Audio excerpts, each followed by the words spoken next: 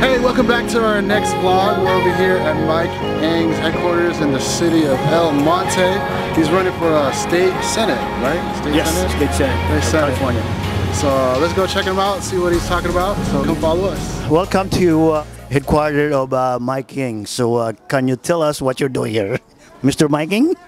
This is a wonderful day. We're about 30 days before the election. The absentee ballots are hit. So we're here for three reasons. Number one, to make sure that we get everybody to vote, especially the Filipino American community. It's so important. There's many, many thousands in this area. I don't know if they've ever been contacted, but they are so critical to our election.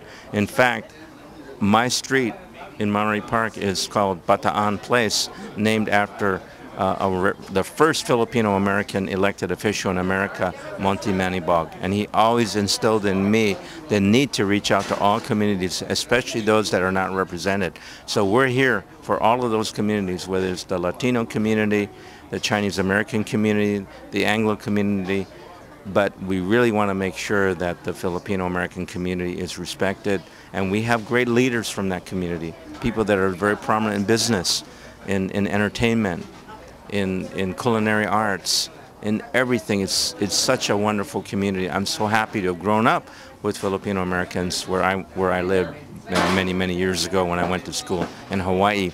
The second thing we want to make sure is that people that have a ballot, they have to vote right away. They get the ballot in the mail, they have to put a stamp on it, they have to sign it on the outside, put a date, and mail it in. Because without that, we, we, we are, they risk the ballot arriving uh, or being postmarked too late. The third thing is that people vote, we want them to remember June the 5, six month, fifth day, 6-5, June 5th, Tuesday, vote if you didn't vote by mail. So that's very, very important. Uh, just to make sure, uh, why does the people who constitute around here has to vote for you? One thing, why do they have to vote for you? There's three things. The first is that we are a coalition builder. We work with everybody, Republicans and Democrats, people from all ethnicities, male and female, young and old. We don't try to separate people and say you don't belong. Everybody belongs because that's number one. Number two is the experience. I'm the only elected official running who served at three levels of government the City Council, the State Assembly, and the Community College Board of Trustees. I've been elected nine times. No other candidate can say that. For The third thing I'm here is because of the endorsements. I have been endorsed by the most prominent elected officials here. Four out of the five county supervisors have endorsed me.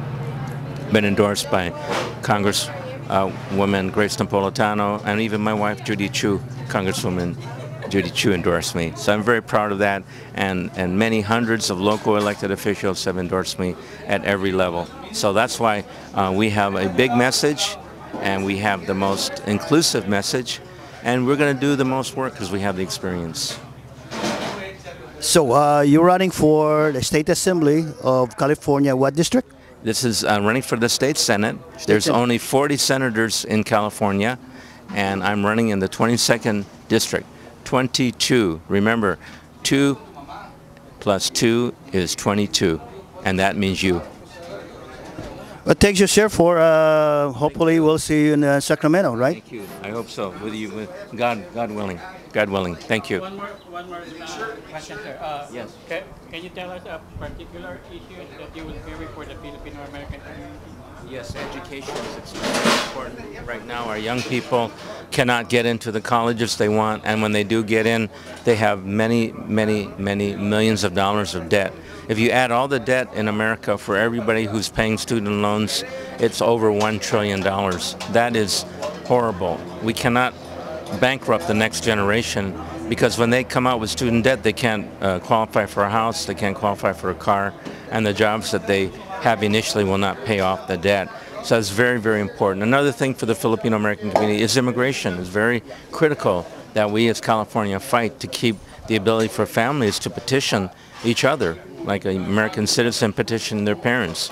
petitioning their brothers and sisters, even though that takes so long.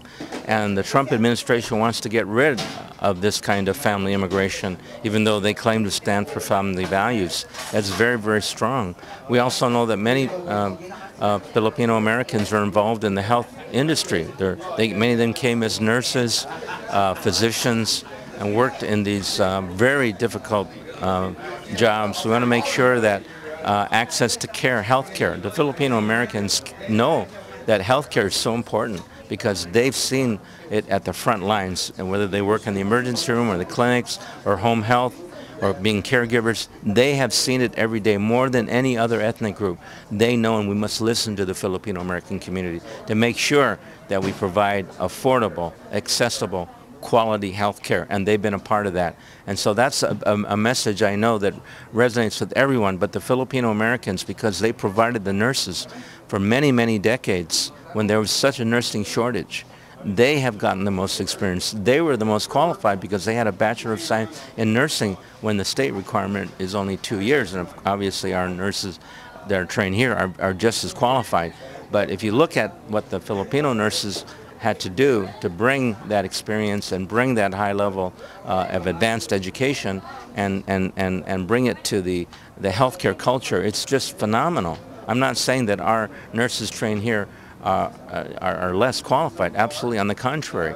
You know, they're all hardworking people, but I'm saying the particular contribution of the Filipino nurses was that they were the majority of nurses for a long time. Not anymore because we know how important it is to keep our nursing schools open, to pay, uh, you know, decent salaries and wages to our nurses and make sure that they don't get burned out. Many of our nurses work many, many hours, uh, five, six days a week.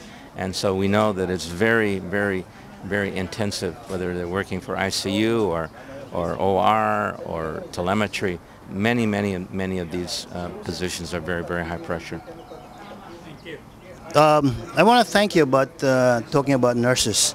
You know, I'm in the entertainment industry. Yes. And uh, a lot of time when there's a medical uh, show and yes. all like that, and uh, a lot of time they're not using Filipinos in that kind of uh, character. Yes. So uh, yes, uh, that's our concern about you know uh, Yes. diversity. But a lot of time uh-huh. they, they use uh, s- somebody else. So, Yes, uh, yes. What can we do about something about Well, that with the we- entertainment industry? There, there are, you're absolutely right. Uh, in the entertainment field, uh, many of us wonder why uh, certain minorities, uh, especially Asian Americans, the young people have such low esteem because when they pick up uh, the newspaper or they go on social media or they watch television or, or they go into the movies, there are very few of our people that are represented there.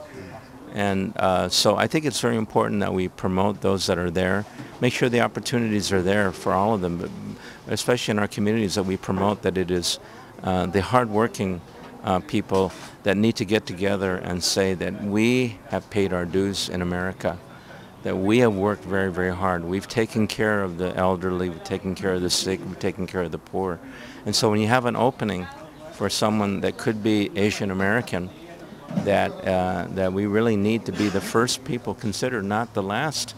And usually when there's nobody, Especially nobody Filipinos. especially the Filipino Americans from As a nurse. a- a- as nurses, they're synonymous, and so uh, we we really need to do that. And I have people from all over the Philippines that I communicate with, from from I say from Tondo to Green Hills, from Iloilo to Cavite to Ilocos Norte, Ilocos Sur. I mean Quezon City, Manila. So all of these uh, come here, but they're one people. They're Filipino Americans now in America, and they're all speaking with one voice, which is, please respect us.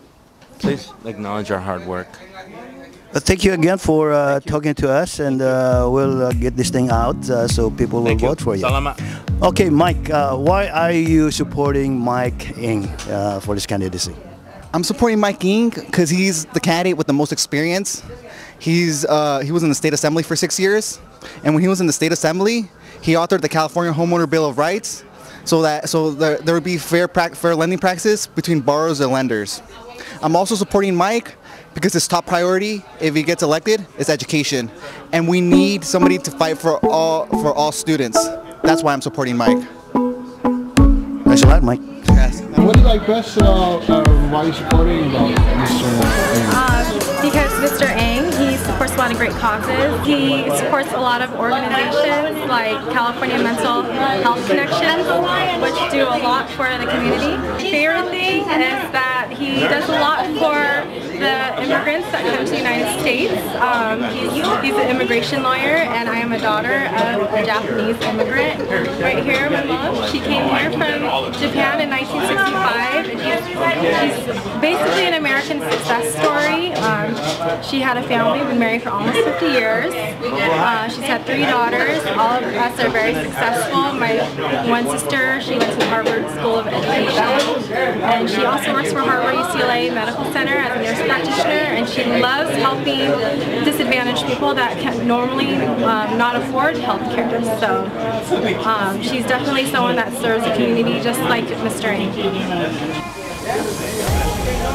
Okay, um, I'm Fernandico Gonang, the president of the Filipino American community of Los Angeles. I'm here endorse Mike Eng for the state senate. I endorse him because he's the most experienced uh, uh, person to run District 22. And uh, he's been here for the last 30 years, so he's the man. Thank you. What's your favorite uh, thing about you like about um, Mr. Ang? Mike uh, it's, it's, in many ways, he's a, immigration lawyer, he is a council and mayor of Monterey, he's assemblyman, he's a teacher. Name the few, he passed a lot of bills, so you cannot be wrong of having Mike again back to state senate. Hi, my name is Brian Urias. I'm a board member with the Upper San Gabriel Valley Municipal Water District. And I'm proud to support Mike because I've known him for uh, over a decade. He's always been a strong advocate for cleaning up our contaminated groundwater in the San Gabriel Valley. He's always fought um, to make sure that the residents in all communities, minority communities, poor communities, uh, have a right to access to water. Um, and he's also been great on the environment. He's going to be a champion to make sure that we have clean air, uh, clean water, and that um, our communities and our children have access to uh, a healthy environment. So Mike is a great champion for uh, our community, our environment. Um, he has the right experience, and I'm proud to support and endorse him. Thank you so much. Thanks for joining us here on our latest vlog here. Met up with Mike Ang, and he's running for state, State. senate. in California. So, what's us? Thanks for watching us. Make sure you support uh, Mike Ang, learn more about him, and vote for him. Vote for Mike Ang. Yes, All right? you got a lot of ideas. Make it cool for Californians. All right. Peace. Peace.